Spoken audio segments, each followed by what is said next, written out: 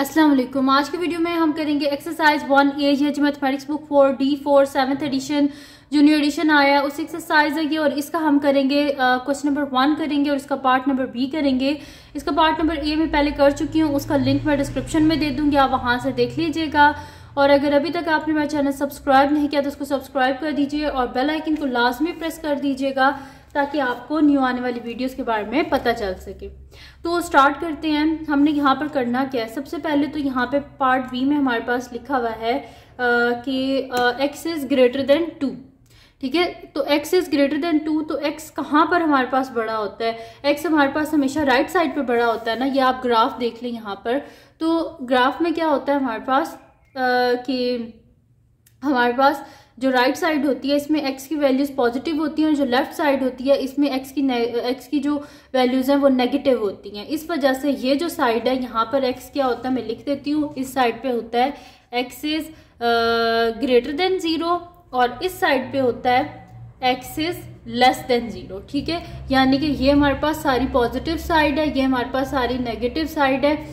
तो अब यहाँ पर क्या है? X is greater than two हमारे पास और इसमें सबसे ज़्यादा समझने वाली बात यह है कि show the unshaded the region satisfy by the following inequalities यहाँ पर हमने जो आंसर है, उसको अनशेडेड रखना है और जो आंसर नहीं है, उस सबको शेड करना है, ठीक है?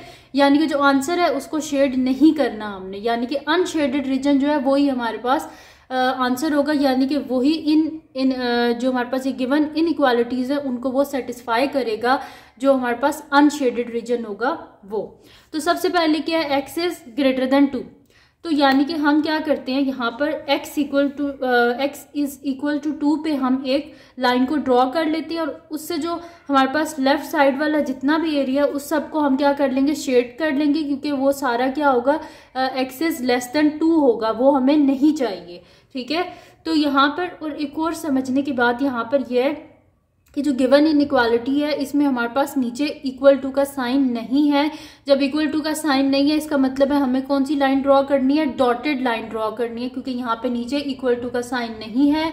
जब इक्वल टू का साइन होगा, तभी हम जो है वो लाइन को मतलब कि प्रॉपर जो लाइन है, उसी को ड्रॉ करेंगे। और जब इक्वल टू का साइन नहीं है, इसका मतलब है हमें यहाँ पर एक डॉटेड लाइन को ड्रॉ करना है।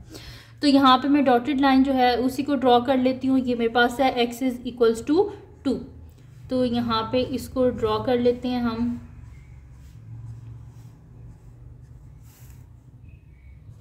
तो ये मैंने एंड तक ड्रॉ कर लिया है। X is equals to two ये जो मेरे पास गिवन लाइन है, ये क्या है मेरे पास? X is equals to two ये जो गिवन है, ठीक है?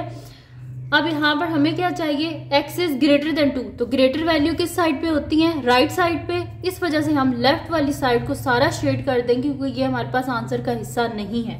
ठीक है?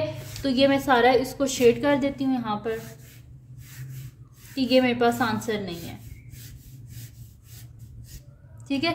ये मैंने सारा शेड कर दिया। उसके बाद अब हमने क्या करना है यहाँ पर?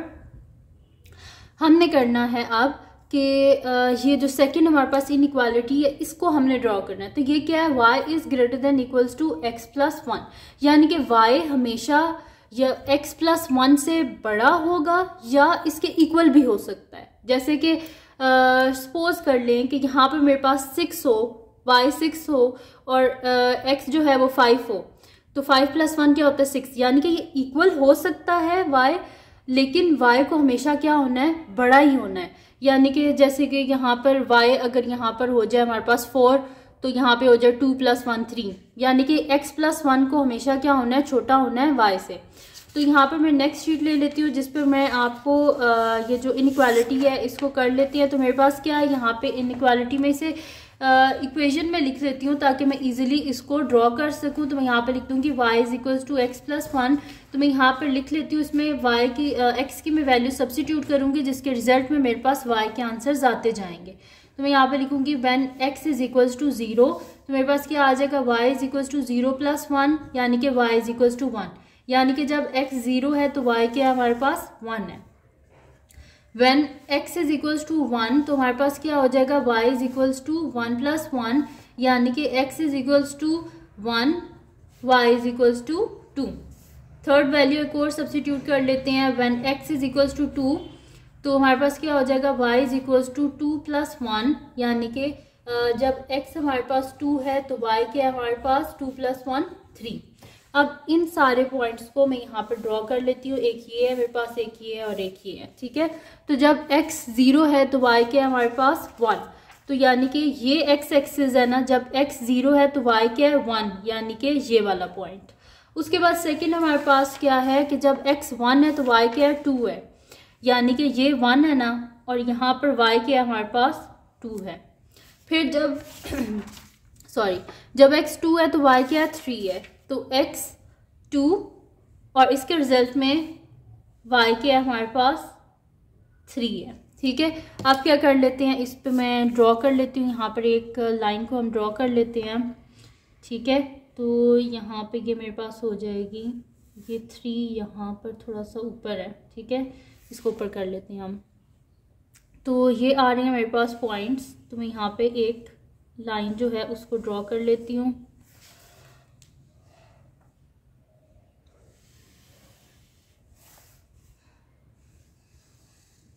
ठीक है जी? तो ये लाइन मेरे पास एक ड्रॉ हो गई है। यहाँ से थोड़ी सी ये सही नहीं है तो इसको मैं वाइटनर से सही कर लेती हूँ, ठीक है? तो ये होगी हमारे पास ड्रॉ होगी लाइन और ये लाइन क्या है? हमारे पास जो ड्रॉ मैंने की है, ये मेरे पास है y is equals to x plus one y is equals to x plus one ये जो मैंने लाइन ड्रॉ की है, ये मैंने लिख दिया कि ये मैंने क्या ड्रॉ की है? Y is equals to x plus one ठीक है? तो ये यहाँ पर मैंने इन पॉइंट्स पे ड्रॉ की है तो जो मैंने इक्वेशन से निकाले थे, ये जब आप ग्राफ पेपर पर करेंगे तो ये ज़्यादा एक्यूरेट बनेगा आपके पास। अब यहाँ पर हम क्या कर लेते हैं? मैं आपको बता भी देती हूँ कि जो मैंने बनाया है, ये मैंने बिल्कुल सही बनाया वो किस तरह? कि, और सबसे पहले बात इसको शेड कर लेते हैं, फिर मैं आपको बताती हूँ कि ये मैंने कैसे सही बनाया है। यहाँ पर क्या है, y is greater than equals to x plus one तो y कहाँ पर बड़ा होता है? जैसे जैसे ऊपर जाते जाते हैं वाई क्या होता जाता है, बड़ा होता जाता है, क्योंकि वाई एक्सिस ये है ना हमारे पास, जो हमारे पास वर्टिकल एक्सिस होता है, ये वाई एक्सिस होता है तो वाई एक्सिस जैसे जैसे ऊपर जाता जाता है, बड़ा होता जाता है, और जैसे जैसे नीचे आता जाता है, छोटा होता जाता है। तो वाई की वैल्यूज़ कहाँ पर बड़ी होती हैं? ऊपर जाके, यानी कि नीचे वाला सारा जो है, ये हमारे पास आंसर का हिस्सा नहीं है तो इसको हम क्या कर देते हैं? शेड कर देते हैं। तो मैं नीचे सारा शेड कर देती हूँ यहाँ पर। ये मेरे पास सारा इसका आंसर नहीं है।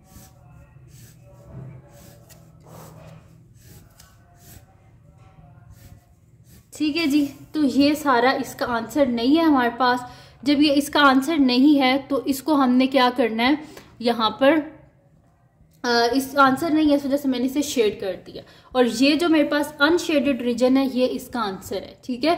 अब क्या कर लेते हैं? मैं आपको बता भी देती हूँ। जैसे कि मैं यहाँ पर ले लूँ वैल्यूज़ यहाँ पर एक पॉइंट ले लेते हैं हम यहाँ पर, ठीक है? मेरे पास यहाँ पर क्या है? अगर मैं ले लूँ इस थ्री के ऊपर, ये वाला पॉइंट ले लूँ बीच में, ठीक है? तो इस पॉइंट पे मेरे पास क्या है? वाई इक्वल्स टू फाइव है और एक्स इक्वल्स टू थ्री है, यानी कि ये मेरे पास है, ठीक है? Three five x three y five ये पॉइंट है मेरे पास, ठीक है? यहाँ से अगर मैं फाइव को लेके और इस थ्री को ऊपर लेके जाऊँ, ठीक है? तो ये मेरे पास पॉइंट बनता है। अब इस पॉइंट को हम देख लेते हैं कि क्या ये सेटिस्फाई करता है? इस इनक्वालिटी को, यानी कि ये जो हमारे पास अनशेडेड रीजन है, क्या ये इसको सेटिस्फाई करती है इनक्वालिटी तो देख लेते हैं हम इनक्वालिटी क्या है? Y is greater than equals to x plus one तो यहाँ पर हमारे पास y क्या है? Five is greater than equals to x की जगह लिख लें थ्री प्लस वन तो y is greater than equals to three plus one क्या होता है? फोर तो फाइव जो है वो क्या है, बड़ा है फोर से इस वजह से ये सेटिस्फाई करता है इस इनक्वालिटी को। क्योंकि यहाँ पे क्या लिखा है वाई की वैल्यू हमेशा या तो बड़ी होनी चाहिए एक्स प्लस वन से या उसके इक्वल होनी चाहिए। तो यहाँ पे बड़ी है, इस वजह से ये सेटिस्फाई कर रही है। अब एक और पॉइंट लेके देख लेते हैं जो कि इससे बाहर हो। जैसे कि मैं ये पॉइंट ले लेती हूँ। यहाँ पर मेरे पास है, ये पॉइंट आ रहा है, ठीक है? इस पॉइंट में x मेरे पास टू है और y क्या है मेरे पास यहाँ पे सॉरी x मेरे पास थ्री है और y मेरे पास टू है, ठीक है? x थ्री है और y क्या है? टू है। तो यहाँ पे कर लेते हैं when x is equals to two sorry x is equals to three है। x is equals to three and y is equals to two तो इनक्वालिटी क्या थी? y is greater than equals to x plus one y क्या हमारे पास two is greater than equals to three plus one यानी कि two is greater than equals to four which is not possible यानी कि ये वाला रीजन जो है, वो इस इनक्वालिटी को सेटिस्फाई नहीं कर रहा। इसी वजह से ये इसके आंसर का हिस्सा नहीं था और इसी वजह से हमने इसे शेड कर दिया और जो अनशेडेड रीजन है, वो इन दोनों इनक्वालिटीज़ को सेटिस्फाई कर रहा है। ठीक है जी? तो ये थी आज की वीडियो जिस मैंने आपको करवाया है exercise one A mathematics book four D four seventh edition इसके, इसका मैंने आपको करवाया क्वेश्चन नंबर वन का पार्ट नंबर बी तो अगर ये वीडियो आपके लिए हेल्पफुल हो तो उसको लाइक कीजिएगा, मेरे चैनल को सब्सक्राइब कीजिएगा और बेल आइकन को लास्ट में प्रेस कर दीजिएगा, ताकि आपको न्यू आने वाली वीडियोज़ के बारे में पता चल सके। और जो मेरे सेकेंड चैनल है, जिसके बीच मेरी कुकिंग की क्राफ्ट की रिडल्स की ट्रैवलिंग की वीडियोस हैं, उसका लिंक पर डिस्क्रिप्शन में उसको सब्सक्राइब कर दीजिएगा। और जो मेरी बहन का चैनल है, उसका लिंक पर डिस्क्रिप्शन में उसको सब्सक्राइब कर दीजिएगा और अपनी दुआओं में लाजमी याद रखिएगा। अल्लाह हाफिज़।